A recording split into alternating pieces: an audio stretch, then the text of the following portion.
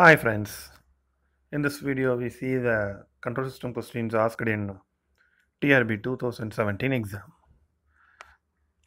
The first question is the steady state error of type 1 system for unit steps signal is equal to. See here they have asked the steady state error for type 1 system, right? So this type of question they may ask. What we have to know is for type 1 system sorry from type 0 we will start. For type 0 system only unit step as error. Right? For type 1 unit ramp as error. For type 2 unit parabola as error. Right? So now the given question is type 1 right? For type 1 system with the unit step input right? So type 1 unit step for type 1 unit ramp only has error. Unit step is one step before. So it has error of 0 so option is d right? So at the same time for type 1 unit step unit parabola has error of infinity right? So the table is very very important. So option d is the correct answer.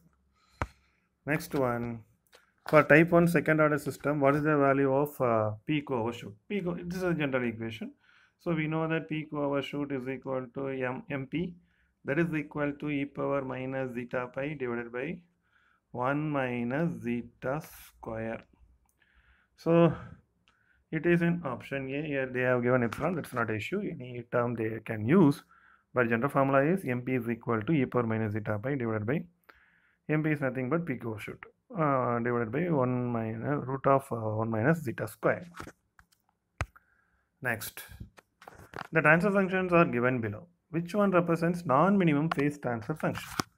So we have to know one thing, minimum phase and non-minimum phase system. Minimum phase system is one where all poles and zeros are lying in left hand side of the plot, uh, S plane, right?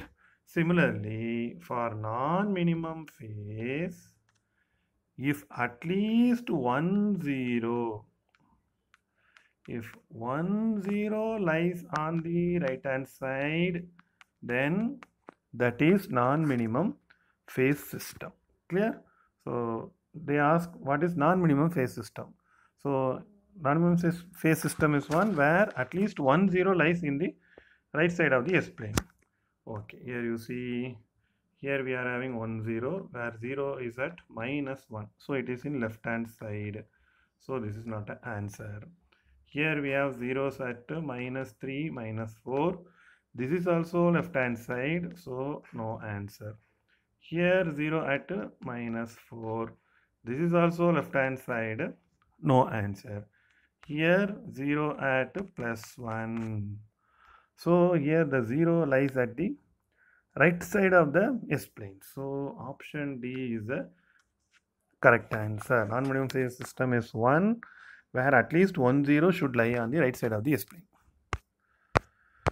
Next, the Nyquist plot of the first order system given by g of j omega is equal to 1 by 1 plus j omega t is so they have given first order system what is the Nyquist plot they ask right so we must know we are having one general formula for Nyquist plot, right?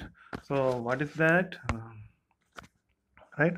So Nyquist plot will start this uh, plot you remember always because they may ask any any plot. So this is starting of the plot. It should be like this, right? Where this is represents type 0, this is type 1, this is type 2, this is type 3 clear. So if it is a system is type 0 it has to start from here. If it is type 1 it has to start from here. Type 2 it has to start from here. Type 3 it has to start from here.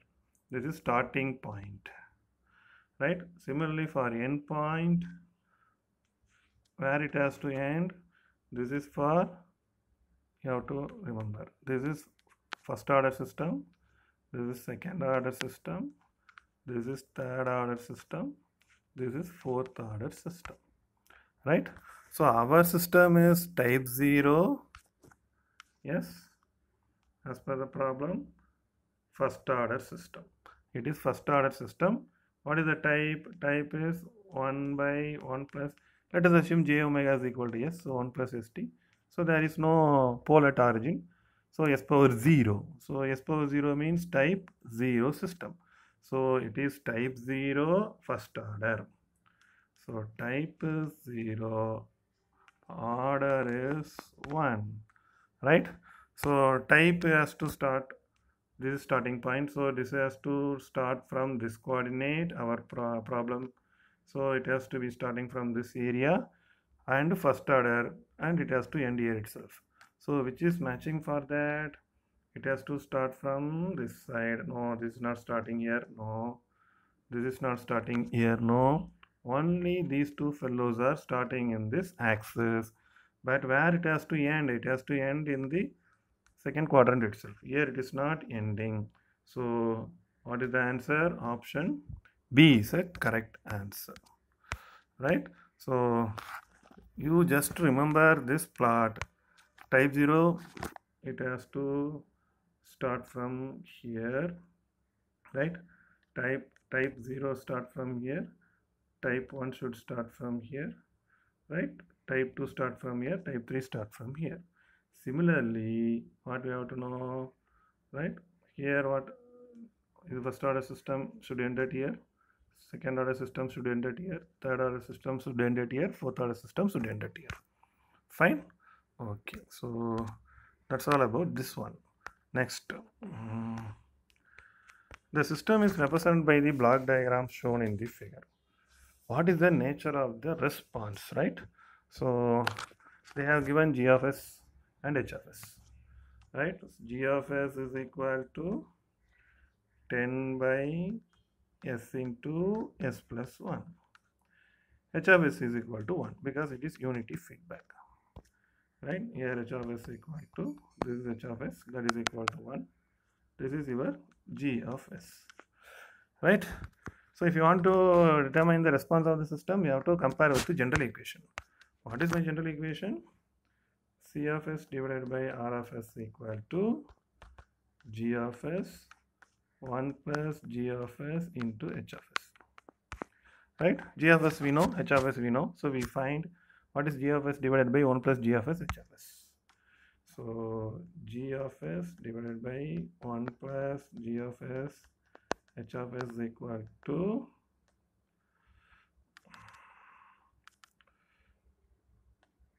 h of s is equal to 10 g of s is 10 by s into s plus 1 divided by 1 plus g of s into h of s. 10 into s plus 1 h of s is 1 if you simplify what you get is 10 divided by s square plus s plus 10 right? So this is denominator of cfs divided by rfs cfs divided by rfs equal to omega n square divided by s square plus 2 zeta omega ns plus omega n square. Now compare this equation with the right hand side. What is that? Instead of omega n squared we are having this is omega n square. Factor is 2 zeta omega n right? So 2 zeta omega n is equal to 1 omega n squared is equal to 10 fine. So let us see omega n squared is equal to 10 this implies omega n is equal to root 10 right? 2 into zeta. Zeta we don't know. Omega n is root 10 that is equal to 1 this is equal this implies zeta is equal to 0.14 right? So here zeta is equal to 0.14 and which lies between 0 and 1 so if zeta lies between 0 and 1 it is under damped system. So what is my question? What type of system it is? It is under damped system. So option a is the right answer. Next. A pair of roots has been moved farther away from the imaginary axis.